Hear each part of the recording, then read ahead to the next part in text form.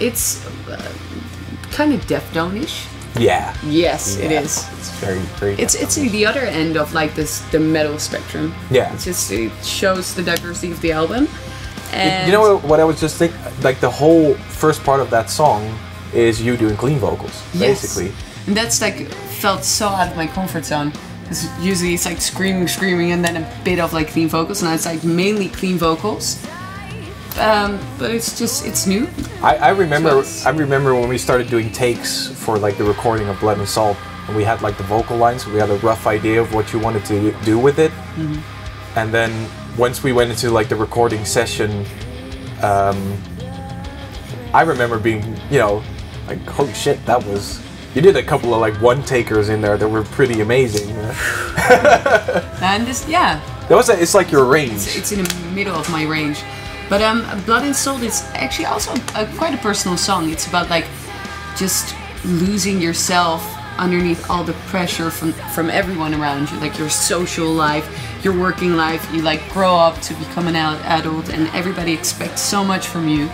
And you get just thrown into this adult world and have to take care of yourself and You have to Yeah. live up to like a certain yeah, certain expectation. expectation from friends, family, work, co-workers, bosses, and just sometimes just feel smudged. Maybe it's like this, like Yeah. becoming an adult problem. Yeah. Just uh, bills. why, why can it stuff. be easy? Yeah, why can't it be easy? yeah, yeah. uh, Corner Office Maniacs was the last track that we that we did. It was like uh, we wanted to like sort of break up the album because we had like a bunch of songs, but we tend to like you know when a record sometimes does something different, maybe sort of different sound texture in order to keep the flow going. So it's not just like heavy track, heavy track, heavy track, sort of to keep it diverse. So we wanted something like that, and I think all of us grew up listening to like Slipknot, Iowa, mm-hmm. and what I really loved about those records, they always had like this very sort of dark intro for for each record, mm-hmm. and we're like, we need to do something like that. And then finally, um, I set out to make something uh, with. It was a video from I think it was Jim Cramer, which is like uh, this financial analyst which has his own TV show, and there was this video of him back in uh, 2008, I think, just before the credit crisis, and he had this meltdown, just complete meltdown on live television, just like saying like oh, these banks they have no idea what the fuck is going on, just like going off. And I remember seeing that and was I know it was just like holy crap, what what what is happening? I I think literally a month later the whole like economy went you know mm. on its ass. And I was like, I need to use that sometimes in a song or I don't know anywhere. Mm-hmm. So eventually, I, I sort of took that and then manipulated through all sorts of like guitar pedals and crazy stuff. And so if you listen closely, it's in there, but it's sort of blended with all the other different sounds. But so if you listen closely, there's a speech of Jim Cramer in that entire song. The Future Need Us Not. It's really like uh, hyper intelligent. Take the, the, the computers are going to take over the world. It's the Matrix. Are gonna destroy us. This is a matrix you are thinking will happen in the end. that, that I'm obsessed about. Yeah. Like we're like now organizing our own defeat. Yeah, we are. Yeah. We totally are. I I I, uh, I told this earlier that I learned. Uh, I think a couple of months back. Um, there's this computer. I think somewhere in the Midwest of the United States. It's called Aladdin. You need to look this up. This is this is crazy. Uh, it's like a computer and it does risk assessment for bank investments. And basically, what it does is it sort of checks. All right, uh, historical events and then what happened after those events and then compares it to what's happening now and based on that it like diverts your investments so it's like one single computer and it's managing i think uh, like 14 trillion dollars at the moment which is like 7% of the world economy so it's like the decisions that this computer is making are more important than what the president of the united states is saying basically that's how much money one single computer is making. Yeah. to me it's like if you would have if you would have told this to people 50 years ago, they probably would have said like, "Are you are you out of your mind?" in the next 50 years? Yeah. It's just I'm very curious to see what that's going to turn out like. But this song is basically like a dystopian picture of Yeah.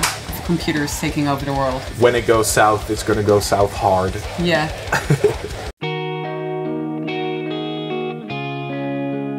Silent War, you can interpret that song like two ways. Either like for like uh, a veteran, how do you call it? Ve- veteran. veteran, like veteran who has always had this war in his head ever since he left the war.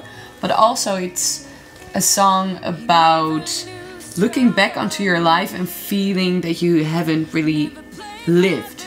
Yeah. That you've just, yeah, That you feel like you're s- sort of trapped in. trapped in in your daily routine and like the ways of life, and that you Yeah.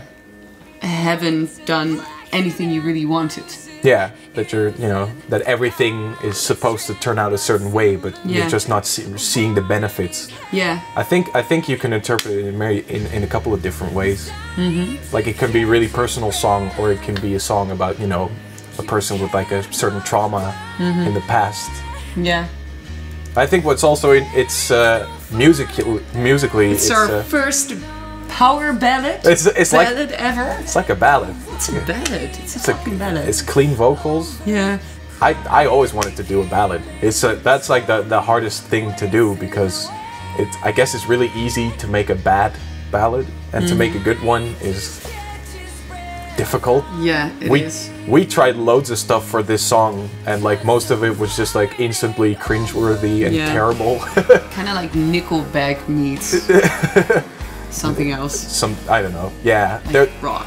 rock, rock, ballad. rock ballad. Yeah. But I, I think I think after a while because it's sort of really we really had to do songwriting with like a piano or an acoustic guitar Mm-hmm. and work from there. That was like you know, there's going out of your comfort zone Mm-hmm. and there's this. This is like the comfort zone is like miles away. Yeah. I remember for you like recording the vocals. It's horrible. it's horrible. What No, it's something different, and I think I, it it learned me progress as a singer, and just like note every note, every pronunciation, every every subtle little thingy becomes so important because it's a stripped down song and it's not with distorted guitars and, and stuff. So yeah, it's it's a learning progress process, but it's good. Yeah, but it's Yeah. that that's exactly what it, it's Yeah. like your voice is like especially in the verses there's like Mm-hmm. no heavy guitar to counter it. It's just you. Yeah. And I, I, so- I remember we we worked you. That was that was like a, a that was a difficult one. It was really difficult. Like a million different takes. yeah, a million and lots of pitch correction. No, Auto-tune. it's auto tune, auto tune everything. It wasn't even me singing. It's just a stand-in vocalist. yeah, it was like T Pain. Yeah, yeah.